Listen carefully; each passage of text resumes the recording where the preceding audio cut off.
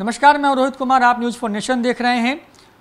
शिक्षक दिवस, यानी कि 5 सितंबर को देश और दुनिया भर में टीचर्स के लिए सम्मान में जो स्टूडेंट्स हैं, वो कार्यक्रम करते हैं। लेकिन बिहार में इस बार का टीचर्स डे थोड़ा खास होने वाला है। खास इसलिए क्योंकि बिहार के साढ़े चार लाख नियोजित शिक्षक एक साथ सरकार के खिलाफ पटना के गांधी मैदान से हुंकार भरेंगे।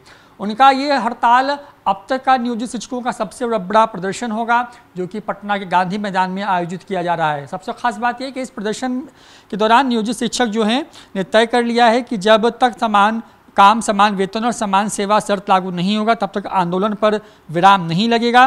नियोजित शिक्षकों ने अपने आंदोलन की कड़ी में इस बार शिक्षक दिवस यानी कि पाँच सितंबर को हड़ताल करने का निर्णय लिया है।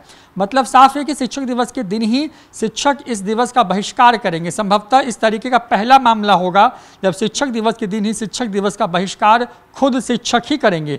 बताते चले कि इस हड़ताल में प्राथमिक माध्यमिक और उच्च माध्यमिक विद्यालय के शिक्षक शामिल होंगे। गौरतलब है कि समान काम, समान वेतन और समान जो समान सेवा शर्तें हैं, उनकी मांग को लेकर के राज्य भर के नियोजित शिक्षक लगातार चरणबद्ध तरीके से आंदोलन करते रहे हैं। बिहार राज्य शिक्षक संघर्ष समन्वय समिति के संयोजक ब्रजनंदन शर्मा ने बताया कि समिति की बैठक में यह निर्णय लिया गया है कि शिक्षक दिवस यानी कि पाँच सितंबर को बिहार के साढ़े चार लाख शिक्षक पटना के गांधी मैदान में जुटेंगे। गांधी मैदान में ही राज्य भर के शिक्षक काली पट्टी बांधकर धरना देंगे और प्रदर्शनी करेंगे। आपको बताएँ कि समान काम, समान वेतन और समान शर्त उनकी पुरानी मांगे हैं। उसे नियोजित शिक्षकों के लिए हर हाल में लागू किया जाए। उन्होंने यह भी कहा है कि शिक्षक दिवस पर आयोजित होने वाले सारे कार्यक्रम का शिक्षक संघ बहिष्कार करेंगे। बता दें कि पाँच सितंबर को शिक्षक न सिर्फ़ शिक्षक दिवस का बहिष्कार करेंगे, बल्कि उस दिन न तो स्कूल में खाना ही बनेगा और ना पढ़ाई होगी।